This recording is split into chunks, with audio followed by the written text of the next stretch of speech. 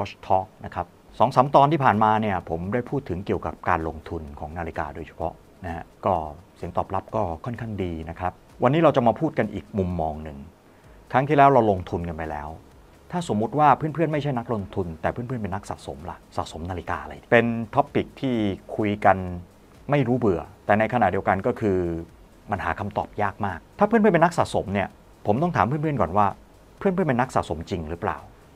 ถ้าเพื่อนๆเป็นนักสะสม เราจะแบ่งเป็นนักสะสมเนี่ยมันจะมีอยู่หลายแนวทางนะฮะบางแนวทางก็คือเป็นนักสะสมแต่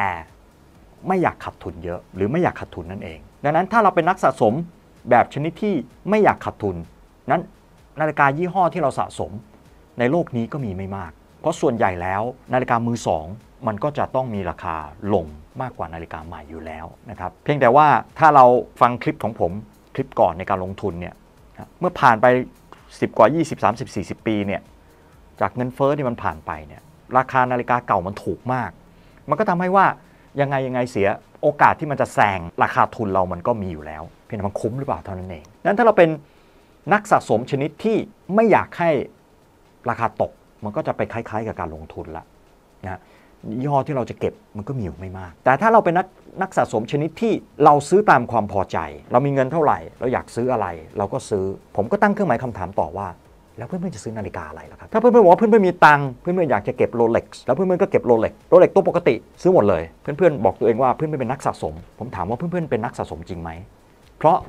ถ้าเราเดินเข้าไปในร้าน แล้วก็จ่ายตังค์เราก็ได้โรเล็กซ์เรือนที่เพื่อนๆสะสมไว้กลับบ้าน หรือแม้กระทั่งต้องรอ หรือแม้กระทั่งต้องจ่ายพรีเมียมอ่าเราไม่พูดโรเล็กก็แล้วกัน ยี่ห้ออะไรก็ตามถ้าในโชว์รูมเขายังมีขาย แล้วก็ซื้อขายไม่ได้ยากอะไร ต่อให้เราเก็บเหมือนกับเขาทั้งร้าน แล้วเราบอกเราเป็นนักสะสม มันอาจจะใช่แต่มันไม่ใช่นักสะสมที่ดีครับการเป็นนักสะสมที่ดีเนี่ยเราต้องเลือกของเลือกยังไง เราต้องเลือกอะไรที่มันเป็นที่สนใจ แต่มันมีไม่มากอ่าฟังแล้วเริ่มงงไหมฮะ ผมยกตัวอย่างง่ายๆ เพื่อนๆเล่น AP ไหมฮะ ถ้าเพื่อนๆเล่น AP เพื่อนๆเล่น Royal Oak ไหมฮะ ถ้าเพื่อนๆเล่น Royal Oak เพื่อนๆน่าจะทราบว่าเขาจะมีฉลองครบรอบ 50 ปี AP Royal Oak AP Royal Oak เนี่ยฉลองครบรอบ50ปีเขาเนี่ยเขาไม่ได้เปลี่ยนอะไรมากเขาไม่ได้ทำตัวพิเศษอะไร เขาเพียงแต่ทำโรเตอร์ครบรอบ 50 ปีแค่นั้นเอง แต่การที่เขาจะทำให้มันแล้วทำแล้วมันมีเสน่ห์พอทำถึงจุดหนึ่งนะปีนี้ครบรอบ 50 ปี พอหมดปีนี้เขาก็ discon ไปเลย ไอ้โรเตอร์ 50 ปีเนี่ยมันก็จะเป็นที่แนวสะสมของลูกค้า แล้วก็จะเป็นที่แสวงหาของนักสะสมในอนาคตนะฮะนี่คือแนวทาง ในอดีตโอเมก้าที่ผมรักเนี่ยเขาจะทำ limited edition เยอะมากนะฮะพอทำ limited edition เนี่ยสิ่งที่มันตามมาก็คือว่านาฬิกาที่เพื่อนๆเดินเข้าไปในใน Omega shop แล้วจะซื้อเนี่ยเพื่อนๆอาจจะบอกว่าก็มีขายก็เดินไปซื้อ แล้วเราก็ซื้อได้แล้วเราก็กลับออกมา อย่างนี้มันสำหรับนักสะสมแล้วเนี่ยมันถือว่ามันไม่ challenge แล้วมันก็ไม่ได้มีอะไรแตกต่าง จากการที่เราเป็นเป็นคนทั่วไปไปซื้อนาฬิกามาใส่ เรามีตังค์เยอะหน่อย เราก็ซื้อหลายรุ่นหน่อย ก็เหมือนกับของอยู่ในร้าน มันก็ไม่มีอะไรว้าวแต่ในทางคนข้าม อย่างที่ผมบอกไปเมื่อกี้โอเมก้าเขาทำ limited edition ค่อนข้างเยอะไอ้ limited edition เนี่ยมันก็จะกลายเป็นจุดที่นักสะสมเขาอยากจะสะสม สะสมของที่มัน limited นะครับเพราะอะไรเพราะอีก 3 ปี 5 ปีข้างหน้ามันไม่มีแล้ว อย่าง Rolex เขาอยากจะททำ limited edition ซึ่งเขาไม่เคยทำแต่การที่ไม่เคยทำของเขาบางรุ่นของเขาที่เขาอยากจะทำให้มันพิเศษ เขาก็จะทำออกมาแล้วก็ discon อย่างรวดเร็ว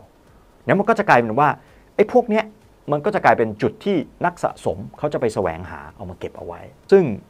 นาฬิกาที่มันมีอยู่ในโลกเนี่ยมันมีมากมายนะครับถ้าเราเป็นนักสะสมชนิดที่ว่าเราซื้อตามใจฉัน เราไม่ได้แคร์ เรื่องการตลาด เราไม่ได้แคร์ว่าราคามันจะขึ้นมันจะลง สิ่งที่มันจะตามมาก็คือว่า เราสามารถที่จะซื้อนาฬิกายี่ห้ออะไรก็ได้ แบบไหนก็ได้ แต่มันกว้างมาก ถ้าเราอยากจะเป็นนักสะสมที่ดี เราควรจะบีบให้มันแคบลง ต่อให้เป็นนาฬิกาชนิดที่เราชอบยี่ห้อที่เราชอบ เราก็ควรจะบีบนิดหนึ่งเช่นโอเมก้าเราบอกเราเล่น Speed Master นี่คือการบีบ Speed Master เขาก็ยังมีหลายลายนะอย่างที่ใส่บนข้อมือผมนี่ก็เป็น Speed Master แต่ Speed Master ตัวนี้เนี่ยมันไม่ใช่ Moon Watch เมื่อมันไม่ใช่ Moon Watch มันก็จะเป็นอีก Speed Master อีกอีกสายหนึ่ง ซึ่งสายนี้เขาก็จะออกมาเรื่อยๆ เขาจะมีสายเลสซิ่งนะสายสีสัน สายดักไซด์นะแล้วก็มีสายมูนวอตมีสายที่สมัยก่อนเราเรียกตัว reduce นะฮะแต่ถ้าเราซื้อหมดทุกลาย เราก็เหมือนไปซื้อในร้านอีกเหมือนกัน แต่ถ้าเราบอกว่าเราบีบไปที่ Moonwatch แล้ว Moonwatch เนี่ยเราก็จะมีธีมของเราก็คืออ่า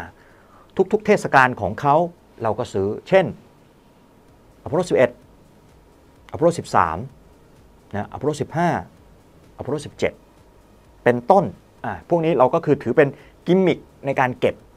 ทุกๆ ครั้งที่โปรเจกต์ต่างๆ เหล่านี้เขาออกโปรเจกต์มาเราก็ซื้อ มันก็เป็นการเก็บ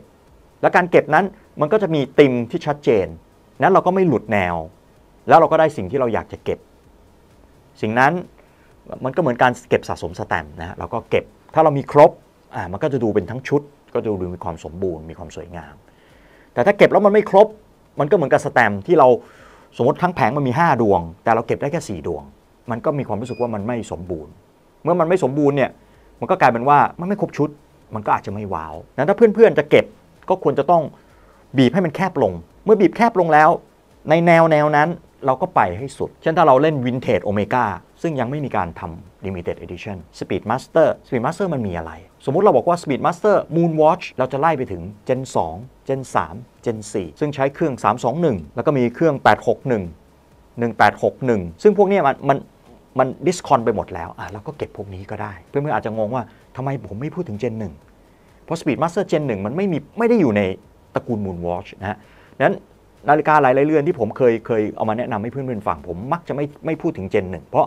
Gen 1มันเป็นประวัติของ Speed Master แต่มันไม่ใช่ประวัติของ Moon Watch ซึ่งผมจะเน้น Speed Master ที่เป็น Moon Watch ผมก็เลยไม่ได้ไปเน้นที่ Gen 1แล้วก็ Gen 1เนื่องจากในอดีตเนี่ยเขาไม่ได้เป็นนาฬิกาแพงชั้นหรูคุณภาพก็ไม่ได้ดีเดออะไรมากมาย นั้นพอการเวลามันผ่านไปเขาก็ขึ้นสนิมบ้างนะตัวเรือนเป็นผุบ้างก็ หาสภาพดีๆ ยากมากดังนั้นเพื่อนๆที่เจอเจนหนึ่งในสภาพดีๆ แล้วสามารถเก็บเอาไว้ได้ ก็